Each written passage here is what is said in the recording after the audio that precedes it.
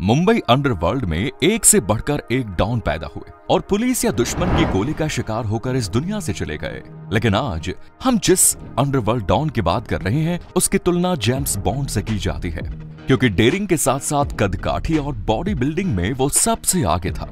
पढ़ाई लिखाई में बहुत अच्छा था और उसका फ्यूचर काफ़ी ब्रिलियंट था। लेकिन इसे संगत का असर कहें या फिर इसकी डेस्टिनी, वो अपराध के रास्ते पर चल पड़ा। और एक वक्त ऐसा आया जब अंडरवर्ल्ड के बड़े बड़े डॉन को उससे खतरा महसूस होने लगा। जी हाँ हम बात कर रहे हैं उस समय के अंडरवर्ल्ड डॉन करीम लाला और दाऊद इब्राहिम की। यही वजह थी कि ये दोनों चाहते थे कि वो रास्ते से हट जाएँ। मुंबई पुलिस के लिए भी वो सिरदर्द बन गया था और बहुत जल्दी पुलिस ने उसका एनकाउंटर भी कर दिया।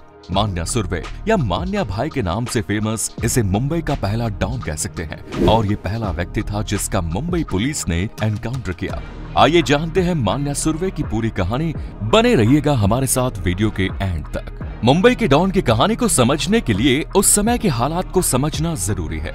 जिस दौर में हाजी मस्तान करीम लाला और वरद राजन मुदलियार का मुंबई में सिक्का चला करता था। लेकिन ये तीनों मुंबई को तीन हिस्सों में बांटकर बड़े शांतिपूर्ण तरीके से अपने अपने एरिया में काम किया करते थे। इनमें से सबसे पहले डॉन शब्द का इस्तेमाल करीम लाला के लिए किया गया। उसे करीम लाला के साथ शेर खान के नाम से भी जाना जाता था। लेकिन करीम लाला अफ़गानिस्तान के एक अमीर परिवार का रहने वाला था, जो पाकिस्तान के पेशावर के रास्ते मुंबई आया और यहाँ आकर उसने अपना धंधा जमाया। वो बेसिकली डायमंड सोने और दूसरे सामानों की स्मगलिंग किया करता था। लेकिन आगे चलकर 80 के दशक में दाऊद इब्राहिम के बड़े भाई साबिर कास्कर ने भी भाईगिरी और गुंडागर्दी के क्षेत्र में आगे बढ़ना शुरू किया। देखते ही देखते वो पठान गैंग की आँखों में खटकने लगा।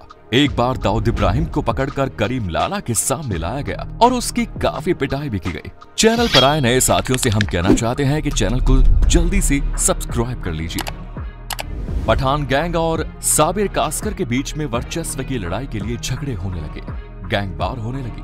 अब तक मुंबई अंडरवर्ल्ड में स्थापित तीनों अपराधी बड़े शांतिपूर्ण तरीके से अपराध को अंजाम दिया करते थे। वो स्मगलिंग, अवैध शराब, जुआ, सट्टा जैसे काम किया करते थे, पर खून खराबे से परहेज किया करते थे। जबकि अंडरवर्ल्ड की नई पीढ़ी अपना वर्चस्व बढ़ाने के लिए ही खून खराबा किया करती थी। आगे चलकर पठान गैंग और खासकर गैंग के बीच हाजी मस्तान ने इस बात का समझौता करा दिया कि अब ये आपस में एक दूसरे के साथ खून खराबा नहीं करेंगे और शांतिपूर्ण तरीके से काम करेंगे। उस समय तो दोनों ने हाँ कह दी, लेकिन पठान गैंग के दिमाग में साबिर खासकर कांटे की तरह चुप रहा था। इस समय मुंबई के अंडरवर्ल्ड में एक और व्यक्ति का नाम उभर कर सामने आया। वो था मनोहर अर्जुन सुरवे, जिसके दोस्त उसे मान्या सुरवे के नाम से पुकारते थे। मान्या सुरवे का जन्म महाराष्ट्र के रत्नागिरी में हुआ और अपनी शुरुआती पढ़ाई लिखाई के बाद ये मुंबई अपने बड़े पिता के घर आ गया, ताकि आगे की पढ़ाई लिखाई कर सके। इसने मुंबई के कीर्ति कॉलेज में बीए में एडमिशन लिया और आगे चलकर अपना ग्रेजुएशन 76 परसेंट नंबर के साथ पूरा किया। मान्या का सौतेला भाई अपराध की दुनिया में अपना दखल रखता था। धीरे धीरे मान्या सुरवे भी इस रास्ते पर चल पड़ा। आगे चलकर उसने अपना गैंग बनाया, फिर छोटे मोटे काम करने लगा। एक बार लड़ाई के दौरान एक व्यक्ति की जान चली गई। इसके बाद मनोहर, उसके भाई और उसके दोस्त को पुलिस ने अरेस्ट किया। इन तीनों को कोर्ट से उम्र कैद की सजा हुई।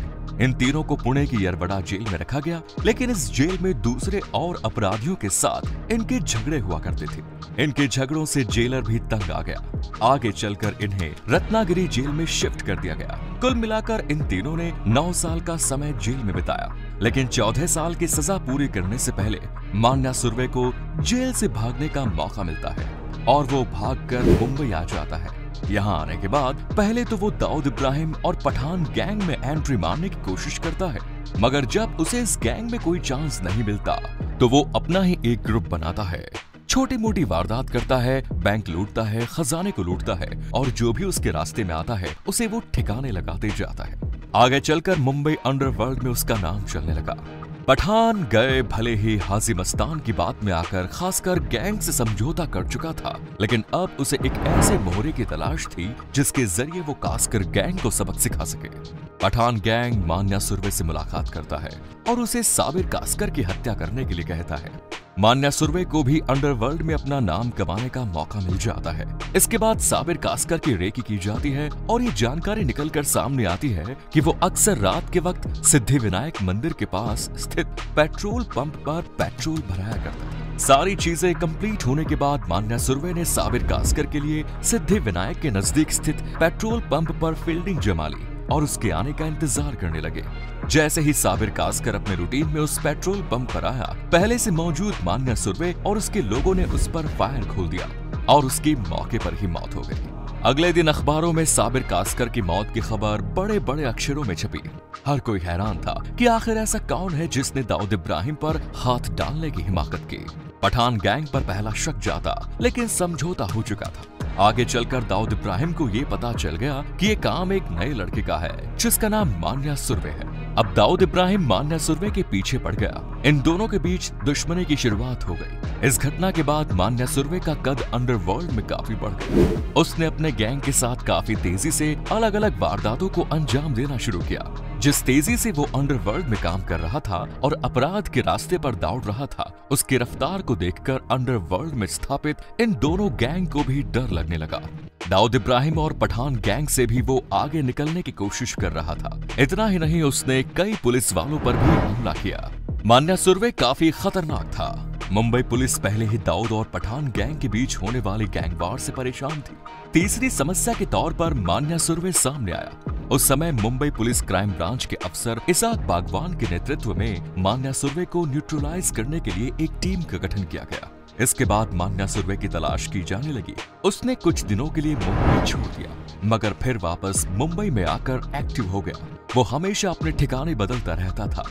सबसे बड़ी बात ये थी कि वो इतना खतरनाक था कि किसी पर जरा सा भी शक होने पर सामने वाले की जान लेने से नहीं चूकता था। इधर पुलिस एक एक करके मान्या सुरवे के साथियों को पकड़ती जा रही थी।